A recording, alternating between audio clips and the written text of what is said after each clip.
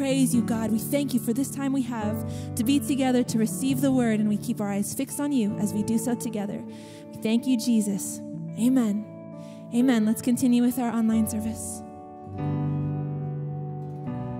All right, so happy we're able to share this time together. And if you're joining us for the first time, I'm Pastor Terry Lee, pastor here at Cornerstone Church in San Francisco, and I'm really happy you're with us right now. You know, we're continuing on with our Explore God series. The question that we want to wrestle with today is the truth claims that Jesus made. We really want to answer this big question Is Jesus God? Was he God's son among us? Is that what he really said he was? Can we believe him? Can we take him at his word? What does that even mean? What are the implications? We're going to be hearing from a professor in theology, Jeff Louie, also a former pastor here in San Francisco, a good friend of mine, and a good part of our church teaching team over the years. Jeff is going to be addressing the subject from a perspective that I think you're going to find provocative and I believe will bless you. Oh, and before we even begin to let him start that sharing time, I want to remind everybody it's something I get to do. It's important, and this is especially for those of you who consider Cornerstone your church home and this your community, even if it's just online. You're a part of us. I want to remind you about our time of giving, what it means to honor the Lord with your tithes and your offerings. This is something that allows us to continue doing the work that God has put on all of our hearts to do here in San Francisco, but really into the Bay Area and honestly stretching out now into other parts of the world. The digital highways, the connections we're having even right now. Yeah, so remember when it comes to giving, like I always say, first give him your heart. Ask the Lord what he wants you to do. but maybe consider honoring him. And when you send that in, remember you can do that to our offices. You can go directly give through the online opportunity option, the portal that we have there, or you can download our Cornerstone SF app and give that way. But again, I don't think we can ever outgive God. Now, if you're just here as an explorer, you're just starting to seek, don't feel any pressure around that. We just want everybody to be able to be blessed, but if it's in your heart to contribute, please go for it. So even now, Lord Jesus, we pray for your blessing over this good word that we're about to share as we explore the question Is Jesus really God?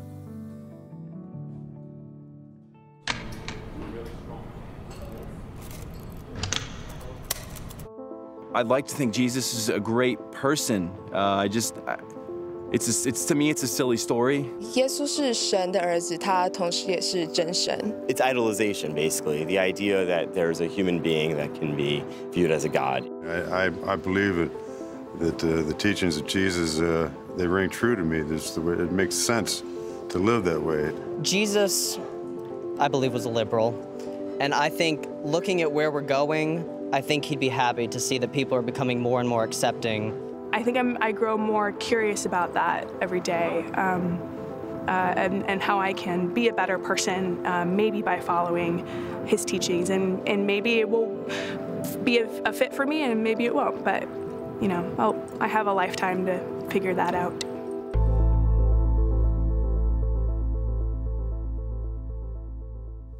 Hi, I'm Jeff, and I have the honor of being in this series on exploring God, specifically on the topic of the divinity of Jesus Christ. Is Jesus really God?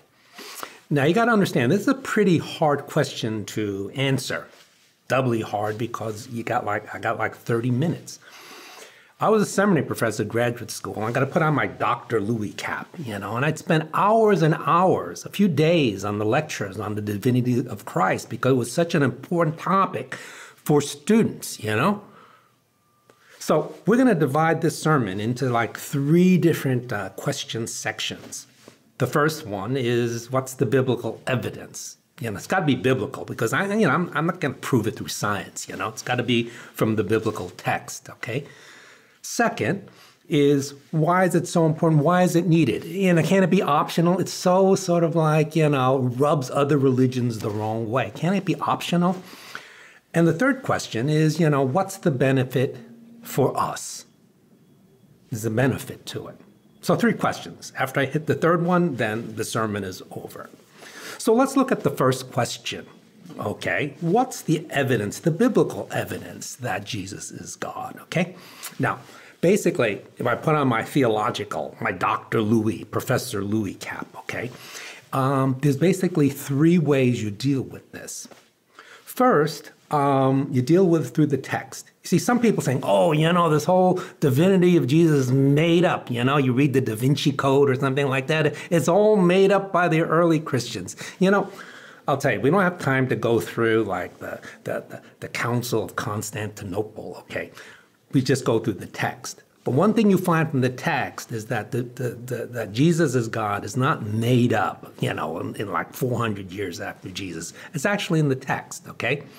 So we deal with it three ways from the text. First, from like verses that basically declare it, okay?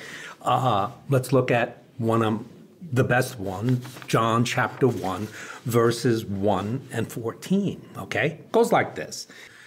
Uh, in the beginning was the Word, and the Word was with God, and the Word was God. Okay, this is oh, doesn't, well, you know, doesn't equate the Word with Jesus. It says that the Word was with God, was was was God. But let me verse fourteen.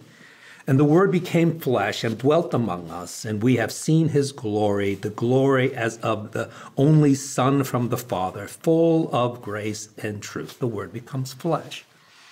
You have another really kind of uh, famous passage in the book of Titus, chapter 2, verse 13, waiting for our blessed hope, the appearing of the glory of our great God and Savior Jesus Christ. You know, these verses are, you know, pretty clear, okay? But then there's also what we call uh, the attributes of God that can be seen in the work and life of Jesus Christ. Okay, now what are these attributes? Characteristics that are somehow, you know, uh, uh, uh, isolated just for God. Okay, so let's give you one. Uh, in terms of time, in the New Testament, Jesus has this like hinting of eternality. Okay, he says in the book of John, "Before Abraham, I am," and I was. They they want they wanted to like kill him because they knew what he was talking about. Okay in the book of the Revelation, it's the I'm the Alpha and the Omega. Then the turn etern- eternality continues with his resurrection from the dead. And you know, they can't find the body, okay? And he's at the right hand of God and he has no beginning and no end, which, like no human being has that. He's someone who is greater than a human being or just a, a, a great prophet or an inspirational good guy, you know. A second uh, attribute or characteristic that Jesus has is that he's really powerful. You look at the Gospels, and he's doing all these miracles. And you know, I see miracles kind of regularly in my life in ministry. I don't see them every day, but I see enough in terms of time, in terms of God uh, changing things. Yeah, but the difference between what I see, it's often through prayer, and what Jesus did is he did it on command. That's very different than what I see, you say, because the power and his authority was within himself. Not only is he powerful in terms of his earthly ministry, but according to the writers of, like the, the, the writer, the Apostle Paul, he describes the magnificence of Jesus in a letter he wrote to the called Ephesians and another one called Colossians. And in Colossians, there is this, this verse like that Jesus, uh, through him, he created all things and he sustains all things. Man, everything that Jesus is is powerful. He created all things. He's the creator. No human has that attribute. We can do things. You, you might be working Google, you're a coder, you know, or you might work at, you know, some Tesla plant, you know, and you know you could build nice electric cars. But create things out of nothing, and create this universe as we know it. Who in the world can do that? The third category, in terms of the evidence of the divinity of Jesus, is his centrality in the New Testament. One thing you can't get away from when you read the New Testament is almost all about Jesus. Jesus, Jesus, Jesus, Jesus, okay. And the, the Gospels about Jesus, okay. The letters, it's all about Jesus, the grace of Jesus, the truth of Jesus, following Jesus, okay. Man, Jesus is very central. He's central. He becomes the sort of the object of our following. He has also become the object of our bowing down and adoration, seen times in the gospel. And then in the book of the Revelation, the last book of the New Testament, there's this really an interesting description in Revelation 22, okay? The writer sees the throne, one throne, of the Father and the Lamb. One throne, they both on it. And everyone's worshiping. You see, the divinity of Jesus, the fact that he's God, as the essence of God, he's the Son of God, is not something was made up in the Council of Constantinople. It's actually in the text. Now, we dealt with the first question. The second question now comes up. And with each question, my time is going to be a little longer. Okay? We dealt with that first one pretty quickly. The second set of questions is uh, why is it important? Okay? Isn't Christianity about unity? And the problems of this world all are stem from the different religions. We're out to get each other because our religious views are different. You know, was going to make mention of this until later on, but uh, I'm taping during the conflict between the Israelis and the Palestinians, Hamas. Okay? Basically, religious views of whose right is who has the right to be in the land, okay? And whose prophetic understanding is correct. Okay? What happens if, you know, we just get rid of all the sectarian stuff uh, between Israel and Hamas? and Christianity has sectarian stuff like, you know, divinity of Jesus, then we, know, all big one, happy family, you know? The issue with that is that the Bible is not just about doctrine. It's not just about morality. There's a bigger story plot line behind the whole scripture. Now, I'm going to use uh, an example. Uh, a long time ago, there was this uh, founding father who became president, one of the presidents of the United States by the name of Thomas Jefferson. And he wrote a book called The Life and Morals of Jesus of Nazareth. And it's a very famous document. I think there are copies of this in the Smithsonian Institute. And uh, Thomas Jefferson, he didn't believe that Jesus was divine. He didn't believe that he was supernatural. He didn't believe he was resurrected from the dead, okay? But he believed that he was a good moral man, had the highest morals, and somehow he bought into the hype and he was crucified, okay? And his followers bought the hype. But he said, you know, uh, you know, you take away what he said, the, the, the garbage, the rubbish, and you get the true teaching of Jesus, okay? He's a great guy, highest morality. And so, what Thomas Jefferson did is he took six Bibles, one in, uh, I think, uh, uh, Greek, one in Latin, uh, two in French, and two English Bibles, and he took a razor and he cut out verses um, to put together what he thought was like his Jesus. Okay? Now, his Jesus, like I said, had no miracles, had no supernatural, no claims of Jesus' deity, no hints of it, no mention of the resurrection. How many verses was it? 990 verses. He said, well, that's a lot, you know? Thomas Jefferson must have included like the bulk of the first four books of, of the New Testament.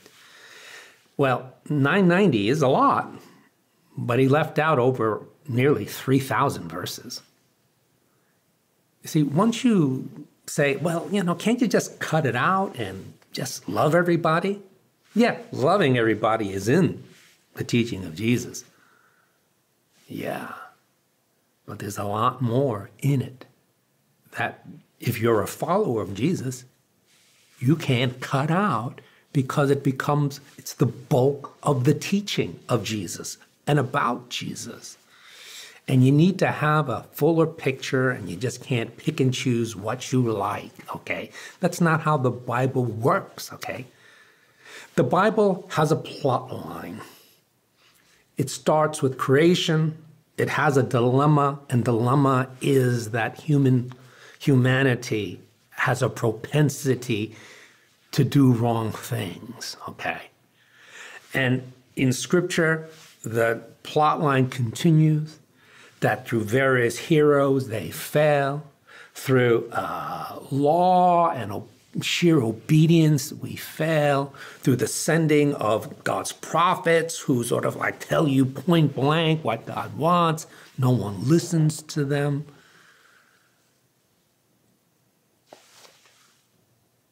And there seems to be no hope for humanity. It's going on a toilet, kind of like what you're experiencing now.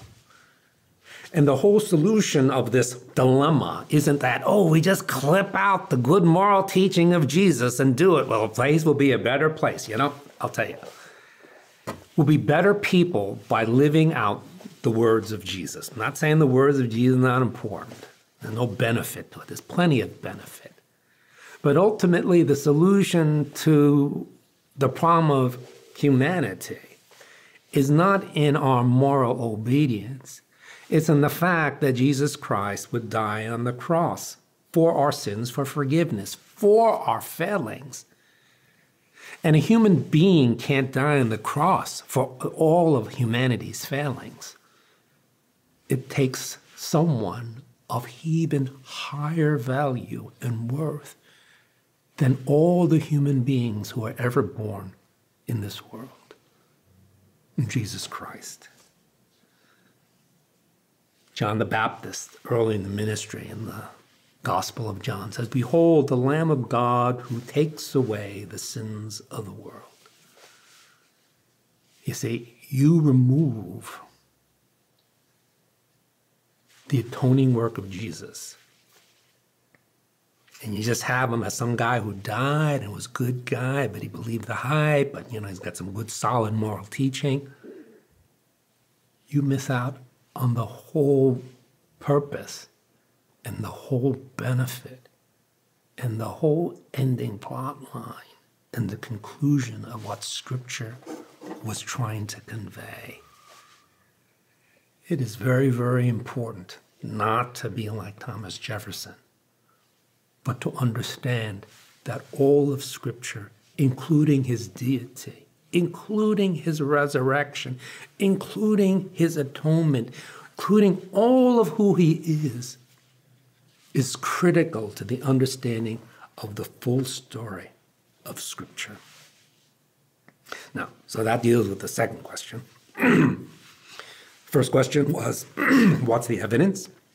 We did it biblically, we did it theologically. Excuse me, I'm going to drink some water.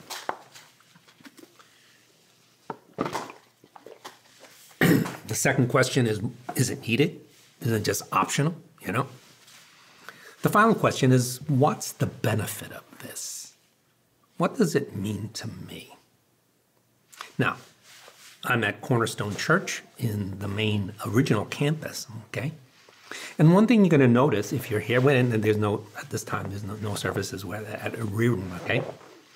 We don't have any statues of Jesus or of Mary. Why not? Because they're not important to us. I wouldn't be opposed to seeing a statue of Jesus if you know how he looks. I know how he looks like. I have paintings of Jesus, I don't know how you, you know, I don't know how it looks like. But if you are of certain Christian sort of heritage, you would have you know pictures or, or you know statue of Jesus that you come and you'd bow down to. Okay, we don't have that. We have a place of worship, but Jesus doesn't abide there. He doesn't live there. Okay? It's not like some holy place. Where I'm taping now is not some holy place, okay? The reason is is that for us who follow Jesus, we know that a belief in Jesus of who he is fully as the Son of God, fully divine, is not just merely an item of stone that we bow down to or place we go to check the box that we did our religious duty for the week. It's much deeper than uh, that because I know Terry and I know what Terry wants to teach his people. What's really important, more important than is Jesus God, is the second question Is Jesus God of your life? And believe it or not, that's the more difficult question. And that's the one that's filled with all the benefits. You see, it's not just a doctrine, it's about understanding that magnificence of Jesus and having Him begin to transform you. Plenty of benefits plenty of transformation. You say, well, Jeff, you know, name a few. Well, I'll name like three of them, okay, that come to mind. The first great benefit when Jesus is understood as divine, the Son of God, is that it begins to set in our lives what is truly valuable in our lives. Say, what do you mean by that? Okay, I wasn't born in a Christian family. Okay? I was born in a Chinese blue collar family. And their mm, values for their children were simple stay out of trouble, aka don't be in a gang, go to school, get a job. That's all we ask. You get in a gang, that's bad. You don't go to school, it's bad. Don't have a job. If you want to put a higher uh, attainment, achievement, you go to a good school, you get a good job, and you make a lot of money. Okay? Those were the goals. And I know I know plenty of Asian people. Don't have to be Chinese, be Korean, Japanese, you know, Taiwanese. That group of Asians almost all sort of pursue those goals. And sometimes you meet people who, if they miss one of them, or two of them, or all of them, they feel that their life is incomplete, and sometimes they view themselves as failures. Because what happens is that which is good in life, like a job is good in life, money is good in life, getting a, a job, a college degree is good in life, but it becomes a compulsion in us and it begins to torment us if we don't attain what we think we we deserve. I've met people when they didn't get into the college they want, they crushed.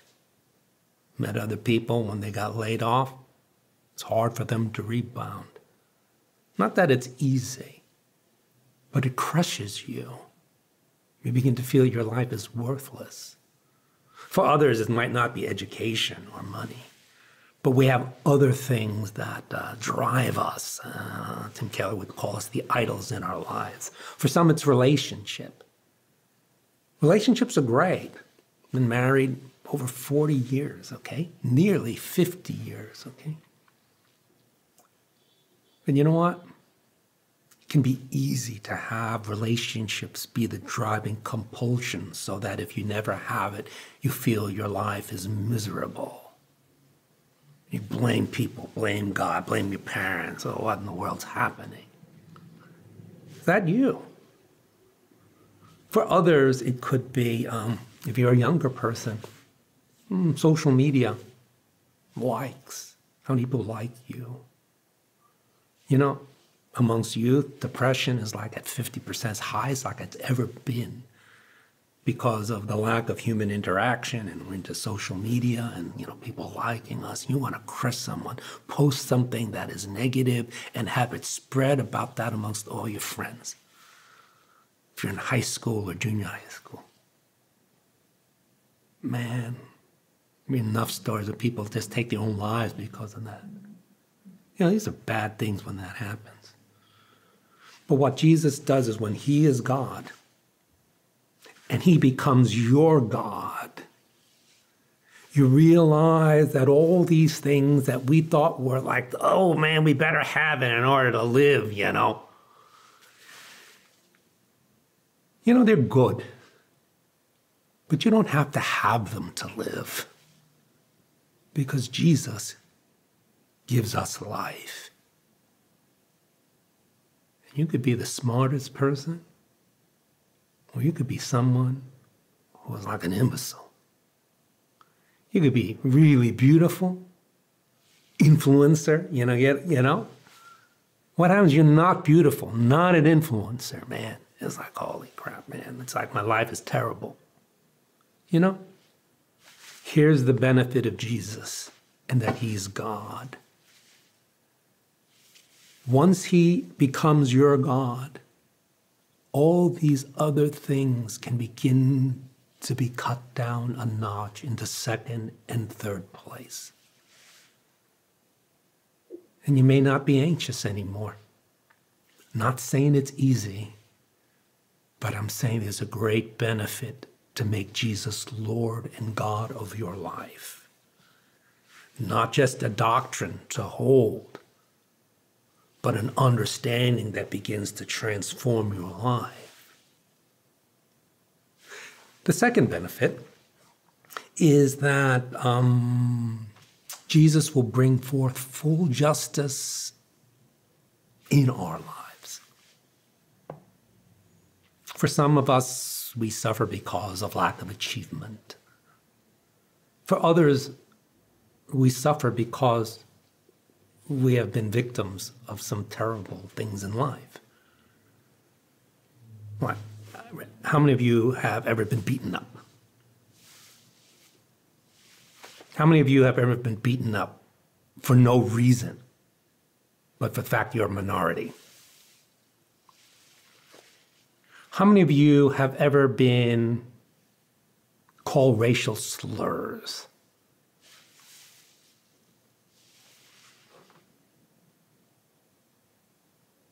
I had to stop because it brings back some memories, you know. You know, I can never undo those things. Never undo those things. Not of heart for minorities who have been subject to grave discrimination during the history of the United States. It's buried in your soul. It's very hard to get rid of because the memories will always float back to the top every so often. How am I going to resolve that? And then there are greater injustices, violent crime done to you. Maybe it's your parents, violent crimes for them, from them, on you. Maybe you were falsely accused and had to do time in prison.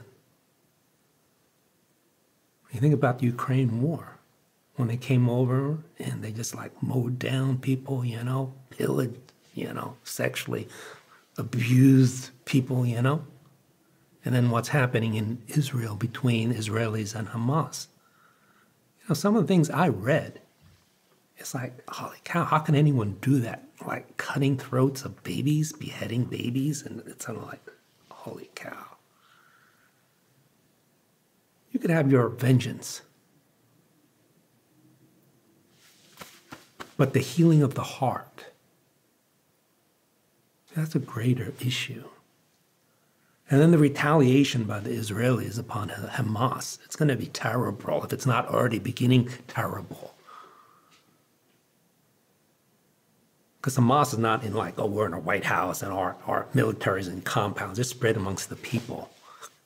And the Israeli is going to impose great vengeance upon them. And thousands of innocent Palestinian civilians will die.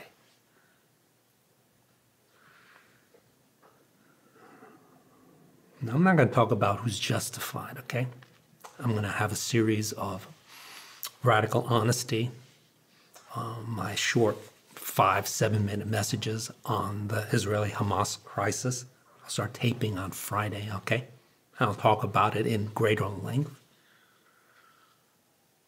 But I'll tell you, there might be justifications on both sides, and there's going to be atrocities on both sides, and there's going to be reasons why they go to war. But it's going to be brutal, it's going to be deadly. And from that aspect, God grieves. I'm not getting into it that Israel has a right to defend itself. I'm not answering that question. I'm not going to answer this question in this message is, you know, is, uh, is Gaza an apartheid state? You know, I'm not talking about that. I'm talking about the sheer perspective of God upon this world. War is evil. Things that people do are res- reflexive responses of who we are. We try to bring justice in life. You do this, I will do that back to you. But you know what? There's never a full restoration, a full healing of the soul. But if Jesus is God, and you believe all that he says he will do, and you believe all everything that he has done for you, he promises to return, have the books open, and judge human beings exactly for everything they did. And then in Revelation chapter 22, he will wipe the tears from our eyes. You know why? Because humans can't do that. We can only do justice by the book, retribution, give you money because we damaged your property, or put you in jail because you hurt us. But the full restoration and the full healing of the soul and the removing of the anguish is part of the whole package of who Jesus is and what he will do. You see, it's just not moral teaching to follow. It's a true healing of the heart and of the hurt that we all experience. The final benefit of Jesus is that he sustains us in this life. In the book of um, 2 Corinthians, chapter 12, verse 9, you know, let me the verses before verse 9, okay? Uh, Paul talks about how, how he is, uh, has this uh, messenger from Satan, the thorn in the flesh, that really bothers him. And three times he prayed to have it removed. And this is how um, Jesus responded to him. My grace is sufficient for you, for my power is made perfect in weakness. Therefore, I will boast all the more gladly in my weakness, so that the power of Christ may rest upon me. This is weird. Chronic distress, the power of Christ, not in creation or doing miracles, but in ability to strengthen you and to sustain you to even greater heights than you can ever imagine. Because in the human dilemma and suffering and the frailty, if you understand who Jesus is, that He is God, He can turn that around and sustain us in life so that you not only know Him better, your life is actually more focused and fulfilled to the glory of God. Now, you may ask, Jeff, easy to say that thing, but how does it look like? Jesus sustaining us. When I go back, I was raised in Chinatown, New York City, on Mott Street for the first seven years of my life. so it's a tenement one bedroom, five people, okay, for seven years. And then before that, I was born, my older brother and sister, my parents lived in another place, okay, in Chinatown. Then they moved to Corona, which is a Hispanic neighborhood. And uh, I was like the only Chinese in the school, so I was uh, picked on. All my life, I went to public school, public elementary school, public junior high, public high school, and then went, even went to a public college in Harlem, New York City. I was not born with a silver spoon in my mouth or an evangelical spoon where I went to like Christian like schools, okay? Father was a waiter. My mom was a seamstress with the garment union. Worked in sweatshops in New York. Like 40 years of her life. When I went to graduate school to study for ministry, I worked. My favorite job was for three and a half years. I washed trucks for United Parcel Service from 10:30 to 2:30 in the morning. Okay. I started ministry when I'm when I was 28. I'm 67. Not quite 40 years, 39. Okay, I'll, I'll give me that year, round it off to 40. Ministry's tough, financially tough, raising kids in a fishbowl. Bouts of depression, got to be honest with you.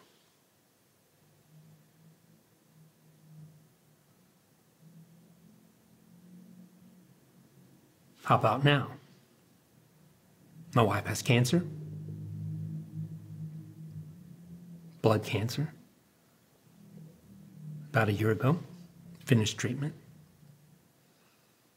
And then about 11 months ago, I suffered a heart attack. The Widowmaker. Actually, this is the first uh, sermon back at Cornerstone since my heart attack, since my wife was diagnosed and had chemo. And you know what? All of these things, everything I said to my beginning to this day, all the illnesses, Jesus has sustained me. Honest, He has sustained me.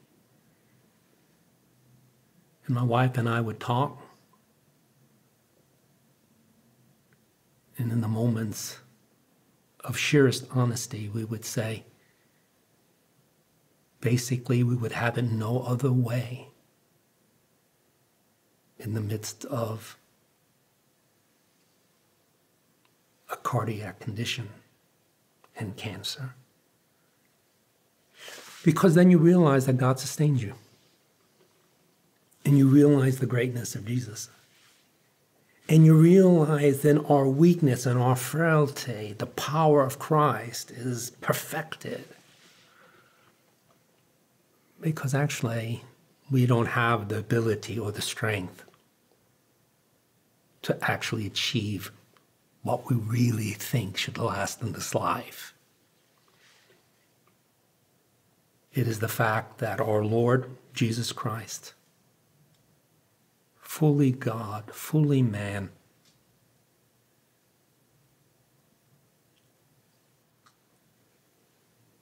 He oversees my life, and He oversees the life of everyone who follows Him. And I hope for those who are considering Jesus but have not yet, let's say, signed on the dotted line would consider Jesus. Not just as a doctrine to check, but Jesus as God and that you make him your God. For others, I hope in the midst of what you are going through, you will see the mighty hand of God carry you to the end. Because he's a great God and a great, compassionate lover of us. Let me end in prayer. Our Heavenly Father, I just give thanks for your Son, Jesus Christ, who He is, what He did for us, and how important it is that we have a mighty God in Jesus, Lord that it is not just about religious duty or activity, but something that is real to carry with us in this life. For we pray this in Jesus' name. Amen.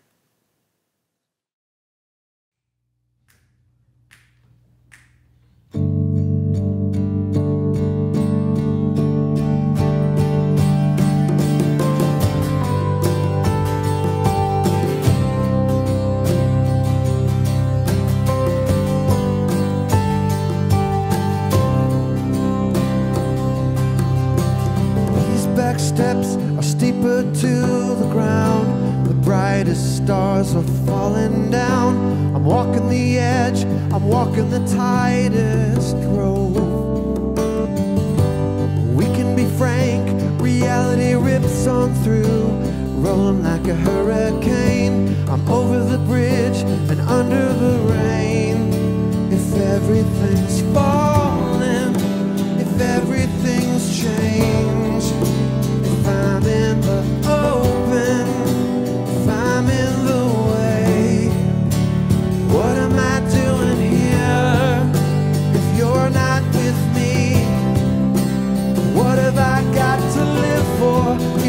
just my own dream?